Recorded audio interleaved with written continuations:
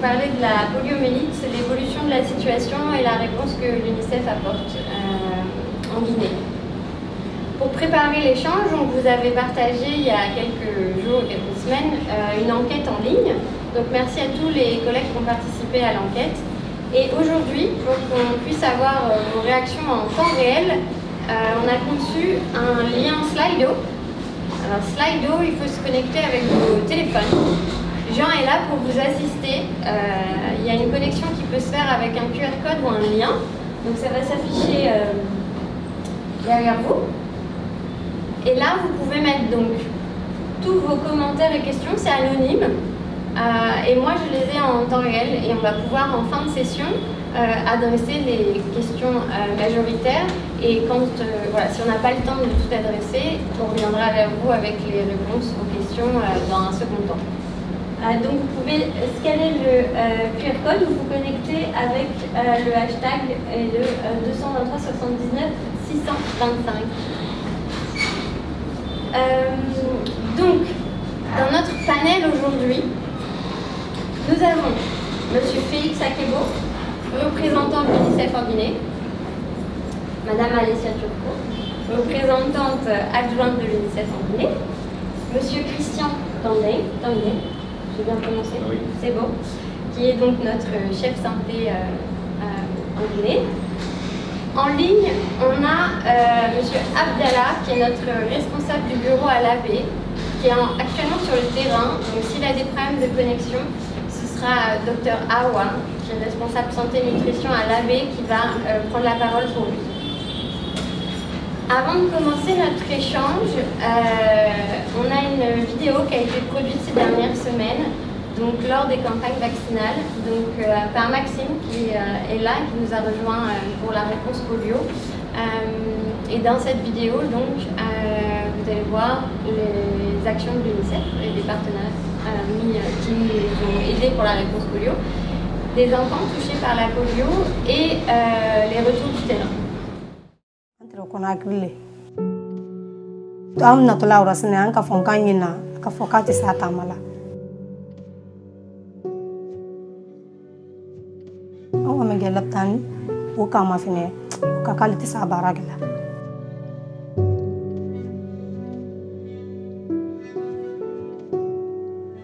ka an y'a ta ka wadi ne kɔni ma ta ka wadi de o ne kɔni tɛrɛ tamina i ba tɛmɛ i ba se ka i la ne ye mɛn fɔ la muso denbatigi bɛ arajɛ ka den vaccine. I b'a o kɛ o le ka ɲi den na kɛnɛya ma den tɔw fo de. Min dun man tɛrɛ ye kɔrɔmana o le tɛrɛ manzɔnya ne tɛrɛ nama tɛrɛ wuli tala ka tolon la. Sewa min tɛrɛ nana ma waati o la o le tɛrɛ n ko n bɛ den sɔrɔ n bɛra den sɔrɔ min bɛ se ka n y'a ye n y'a tɛ a bɛ se ka n cɛ ta den ɲɛnkaroya trois mois fɛdi le sofeni doni na n k'a bila ɲɛfɛ an wara labi taa c'est que n k'a lɔn waati o le n ko mɔn kɔrɔ jankaro le. A ye kan ka nɔya pise a daminɛ ni don min na o di tara tɛ se la foyi la a tɛ se a a tɛ se a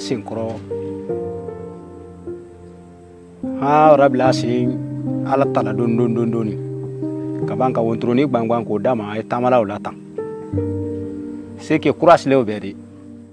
Comme on vient de le voir, malheureusement, on a des enfants en qui sont touchés par la polio euh, actuellement.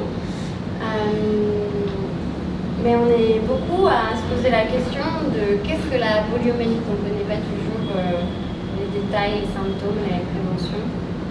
Est-ce que M. Félix Akibo pourrait euh, nous informer euh, plus sur cette thématique?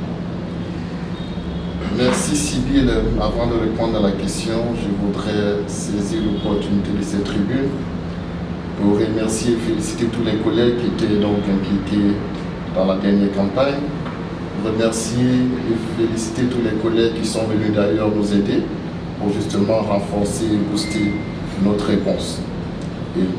Féliciter remercier pour tous ceux qui se mobilisent pour, donc, pour la prochaine, le prochain round dont les dates sont encore à définir. La polio, qu'est-ce que c'est? C'est une maladie donc, qui peut paralyser du système euh, nerveux et donc qui fait que l'enfant ou les personnes atteintes deviennent complètement paralytiques et parfois de façon irréversible. Il faut avoir l'esprit que 5 à 10 de ces cas-là, de cas de, polio, meurent justement parce que les muscles respiratoires sont atteints. Et donc, ils deviennent paralytiques et donc l'enfant, les enfants peuvent mourir immédiatement. Donc, la polio est une maladie qui se transmet par voie orofécale. Donc, c'est un appelle la maladie de la saleté et qui s'installe et se développe dans l'intestin. C'est pour cela que docteur euh, Christian reviendra là-dessus. On donne des gouttes pour justement aller trouver rapidement les virus et donc l'attaquer prévenir de la polio. Donc voilà quelques éléments de réponse, mais avant d'aller plus loin, comment, quels sont les symptômes? C'est vraiment des, des nausées, des céphalées qui font que les enfants ne se sentent pas bien et parfois on, retrace la maladie à cause des premiers cas de paralysie comme vous l'avez vu dans la capsule qui vient de passer. Donc voilà quelques éléments de réponse. Et, euh, quels sont les, facteurs de recrudescence de la maladie en Guinée il faut savoir que nous avons une couverture vaccinale assez basse.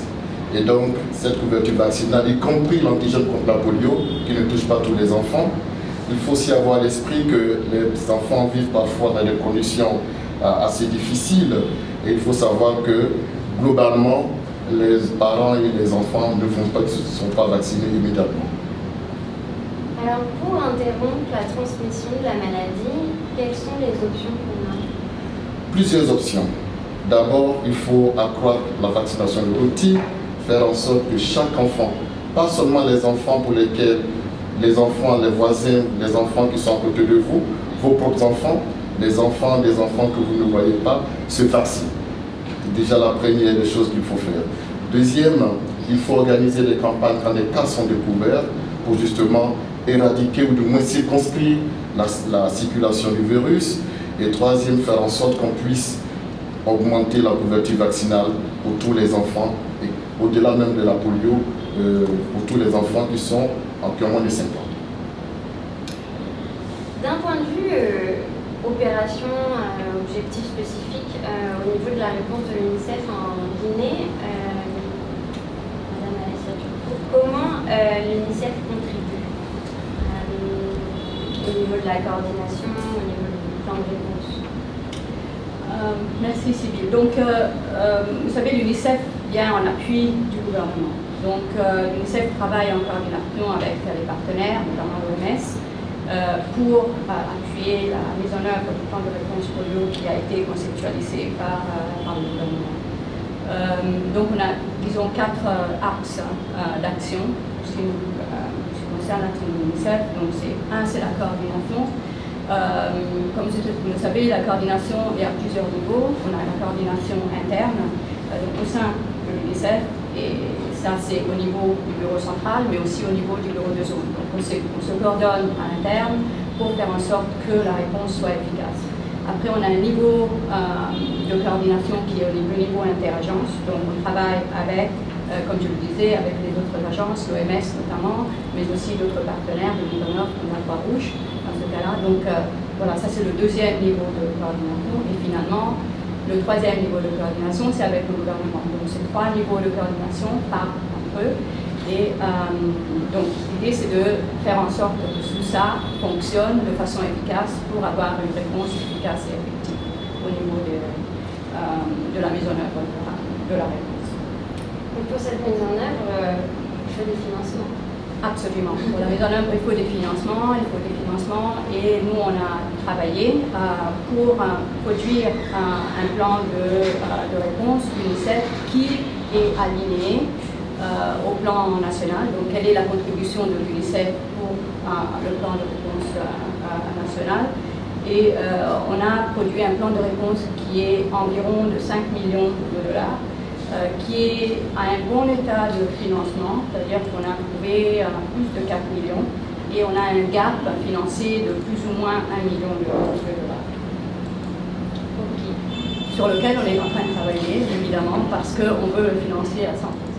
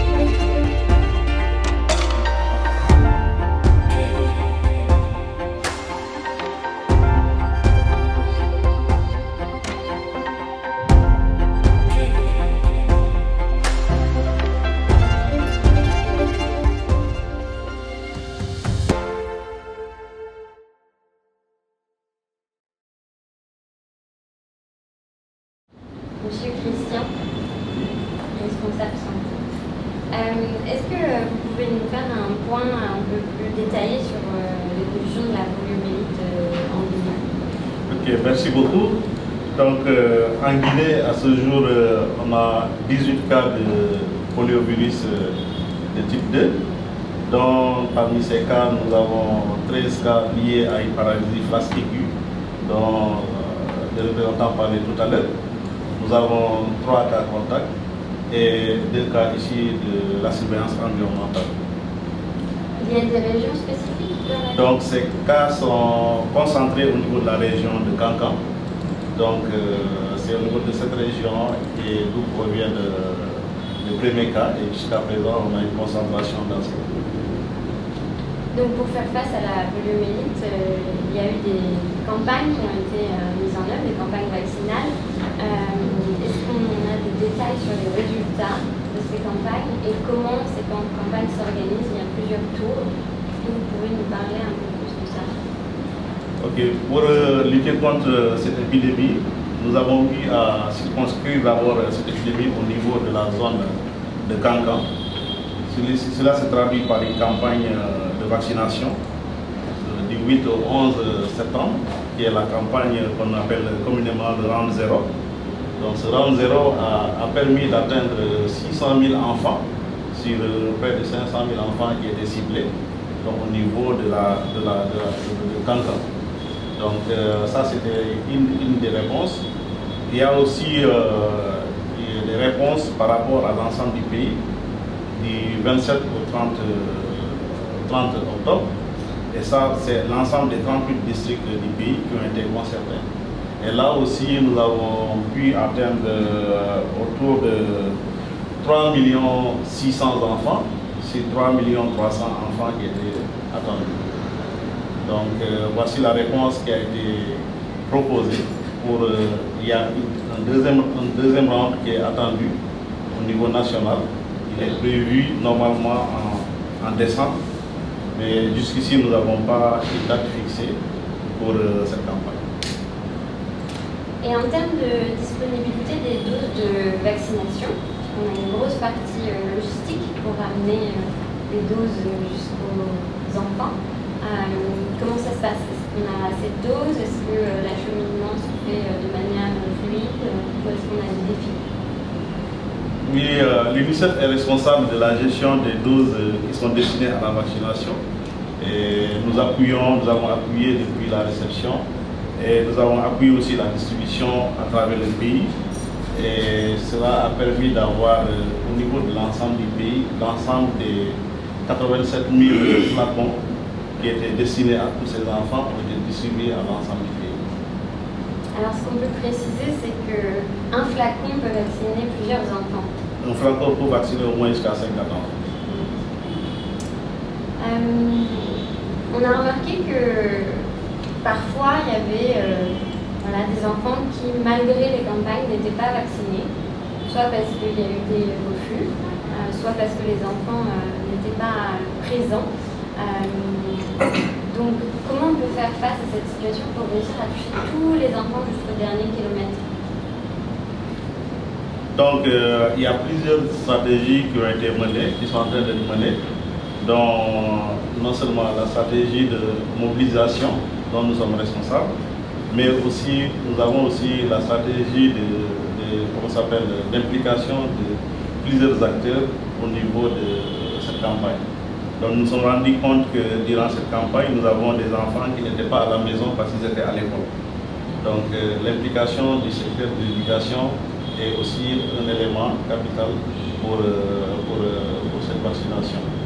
Donc euh, l'administration territoriale aussi, et aussi euh, lorsqu'il est très impliqué, permet aussi d'augmenter la chance d'atteindre le maximum des enfants. J'ai été en supervision pour la campagne de riposte contre polio. On a eu quelques questions qui sont euh, revenues donc, des collègues ou alors des, des mamans qui ont euh, voilà, été euh, entendues sur la vaccination de Et euh, une des questions, je vais m'adresser à, vous, c'est comment est composée une équipe qui se rend dans les foyer. comment ça s'organise, qui est là? Donc on a des collègues qui ont supervisé la vaccination. mais de manière générale, quelle est la formule donc, pour, pour, la vaccination, on a l'équipe qui fait la, vaccination. On a par exemple deux personnes qui font la vaccination. Et on a un mobilisateur communautaire. Donc, ce mobilisateur communautaire permet d'expliquer aux parents en quoi cette, vaccination est importante pour leurs enfants. Donc, euh, eux, tous ils travaillent ensemble pour permettre d'avoir de meilleurs résultats. Donc l'UNICEF a participé à créer les messages en langue locale et participe à la mobilisation communautaire. Euh, donc on a vu avec les prières publics, avec les euh, personnes qui passent de porte à porte, avec les affiches. donc on a une forte mobilisation quand même de la communauté pour que la vaccination en Guinée se passe correctement et se passe de manière paisible. Oui, effectivement, l'UNICEF a déployé des ressources, euh, tant ressources financières qu'humaines, pour appuyer le ministère de la Santé dans le cadre de cette mobilisation en utilisant plusieurs canaux. Donc il y a, les, comme vous l'avez dit, les, radios, les télévisions et aussi les communications interpersonnelles. Et cela a permis d'avoir une masse critique aussi d'agents mobilisateurs euh, communautaires au niveau du pays pour euh, faire la communication interpersonnelle, allant convaincre les parents à faire vacciner leurs enfants. On a euh, une euh, question qui est revenue plusieurs fois sur la différence des résultats entre les, enfants ciblés et le taux de 100% de malades qui a été dépassé, ou la différence de résultats entre les aires de santé et les districts de santé. Est-ce qu'on peut avoir un peu plus les raisons d'avoir euh, plus de 100% de cette couverture, il y a plusieurs, euh, plusieurs, raisons. Donc, euh, une des raisons, c'est qu'on a un problème de, maîtrise de la cible au niveau du pays parce que les derniers recensements datent de 2014.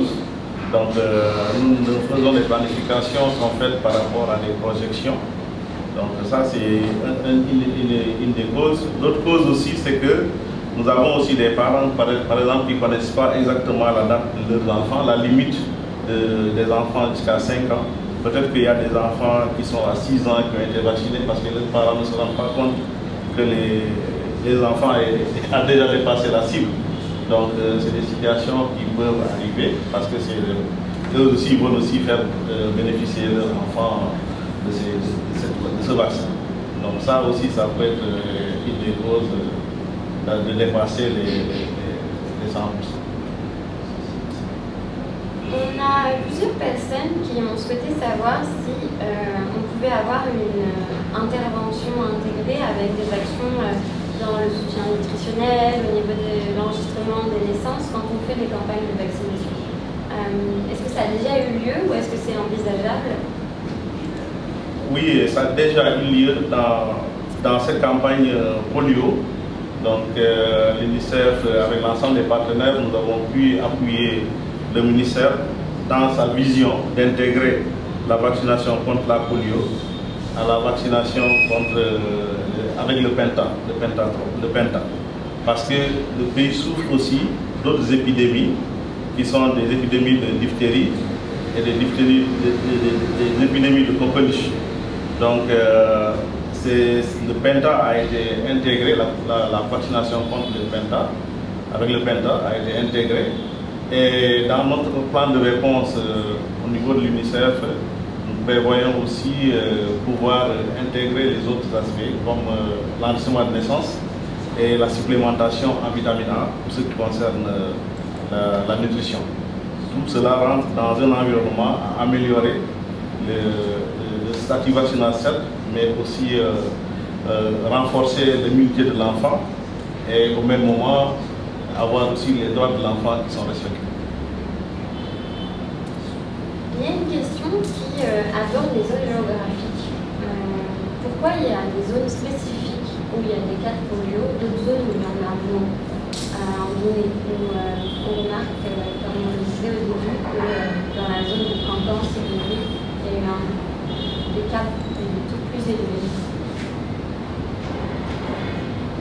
Donc euh, là, on a la des zones où on a beaucoup de, cas d'épidémie qui surgissent, comme euh, Sigiri. C'est une zone euh, frontalière et c'est une zone qui accueille euh, beaucoup d'étrangers. Donc, et donc, où la population se renouvelle très souvent. Ce qui fait que c'est très facile d'avoir une circulation d'un virus qui, qui serait importé d'ailleurs. Et en plus de ça aussi, Sigiri aussi est noté comme la région, l'une des régions où on a très peu d'enfants qui sont vaccinés. Donc les enfants qui ne sont pas vaccinés sont plus nombreux, ou bien insuffisamment vaccinés, sont plus nombreux à Sigiri. Donc comme euh, le représentant l'a dit tout à l'heure, euh, l'immunité qui est très faible fait que les personnes sont très sensibles, sont très vulnérables à toute maladie qui arrive comme euh, la polio et la diphtérie et la coqueluche.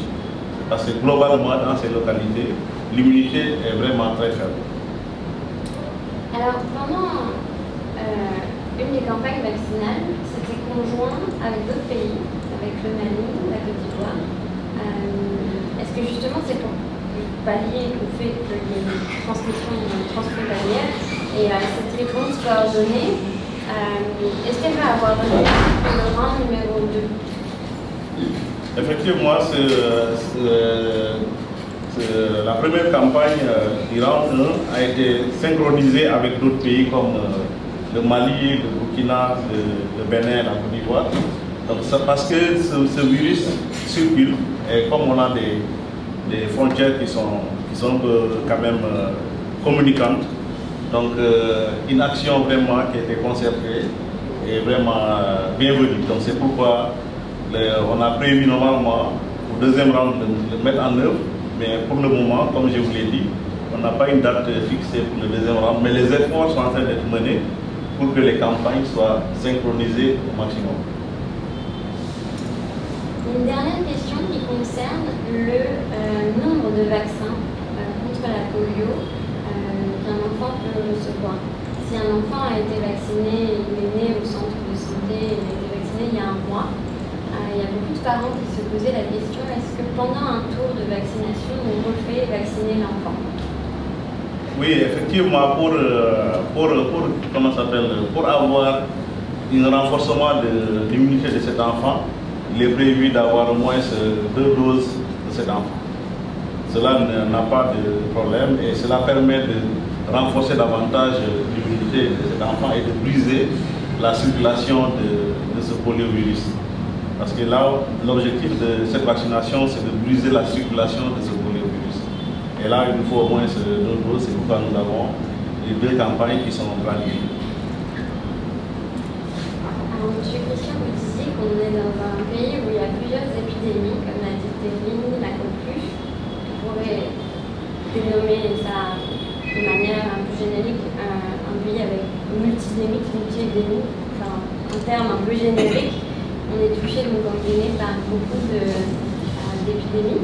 Euh, Qu'est-ce qu'on envisage dans les prochains mois, les prochaines années, euh, au niveau de l'UNICEF et de l'OMS pour justement euh, faire en sorte qu'on réduise le nombre d'épidémies en Guinée Donc présentement, comme vous l'avez vu, présentement c'est une réaction rapide pour la vaccination durant les campagnes intégrées mais l'objectif c'est vraiment de renforcer la vaccination de routine. Si tous les enfants sont vaccinés de façon correcte et complètement, nous pourrons avoir une résistance à, ces virus et avoir moins de recrudescence de ces maladies. Mais on se retrouve à une situation où on a 47% des enfants qui sont vaccinés actuellement au niveau de la Guinée. Donc encore très loin, il nous faut au moins avoir plus de 80% de ces enfants qui sont vaccinés complètement vaccinés pour euh, espérer être à l'abri de ces, de ces épidémies.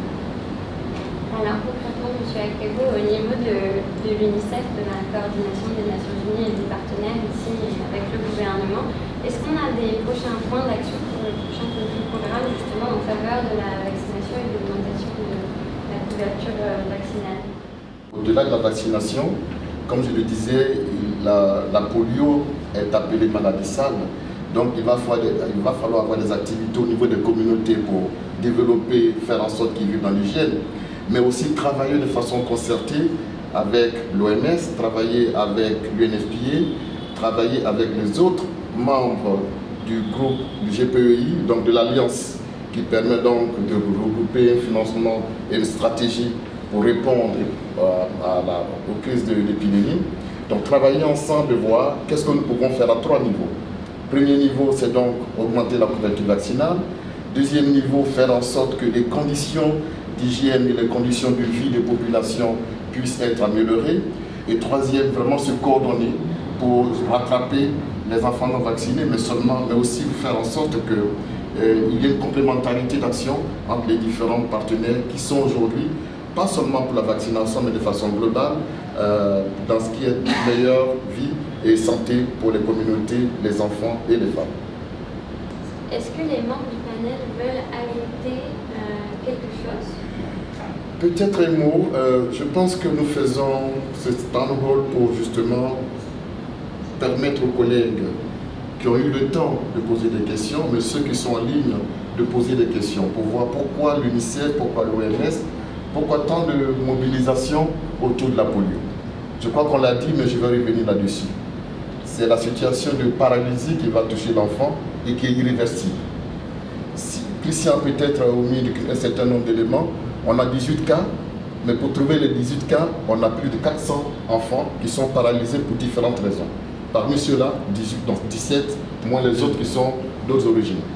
Et donc, la paralysie touche les enfants et les rend complètement improductifs présentement et certainement dans le futur. Avec des accès, même quand ils réussissent à vivre, les systèmes scolaires, les écoles, les hôpitaux, rien n'est fait pour ces personnes qui vont vivre avec une forme d'handicap, où très peu de choses sont faites.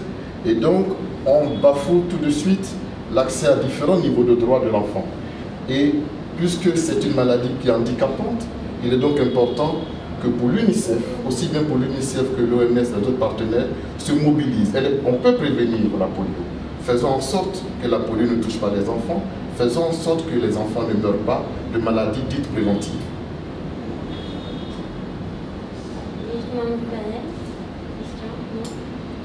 Et ça, c'est le devoir de chacun d'entre nous. Hein. C'est le devoir, je l'ai dit au départ, c'est le devoir de chacun d'entre nous. Pour ceux qui, qui habitent Conakry, de rassurez-vous que les enfants des personnes qui habitent autour de vous sont vaccinés. Le vaccin est gratuit. Rassurez-vous que ceux qui sont des personnes qui travaillent dans votre maison ont des enfants vaccinés. Rassurez-vous que les, les enfants des oncles sont vaccinés. On se bat pour la vaccination parce que c'est ça qui va permettre à l'enfant d'atteindre les 5 ans, d'aller à l'école à 6 ans, de grandir et de devenir l'agent de changement social que nous sommes, que vous êtes et que vous pouvez aider à construire. Faire en sorte que chaque enfant vive dans un environnement meilleur, c'est le rôle de chacun d'entre nous. Pas parce qu'on a l'UNICEF, mais d'étendre notre responsabilité dans la communauté où nous vivons et dans ce que nous faisons tous les jours. Moi, c'est juste remercier l'ensemble des collègues de l'UNICEF, l'ensemble des Nations Unies aussi qui sont beaucoup impliqués dans cette euh, réponse à la polio parce que nous avons eu à déployer pas mal de 32 personnes sur le terrain, et des personnes qui ne sont pas du secteur, sont d'autres secteurs, qui ont très bien fait le travail et donc euh, qui nous ont permis aussi de tirer pas mal de leçons pour euh, les prochaines étapes. Donc je dis vraiment bravo à tout le monde pour euh, cet excellent travail. Alors, pour les personnes qui n'ont pas réussi à se connecter à Slido ou qui pensent à d'autres choses au niveau de la poliomyélite, vous pouvez m'adresser vos questions. Euh, on va collecter toutes les questions euh, et on va les adresser. Euh, je vous remercie de votre participation en présentiel ou connecté en région. Merci aussi à nos trois membres du panel pour leur présence et leur implication.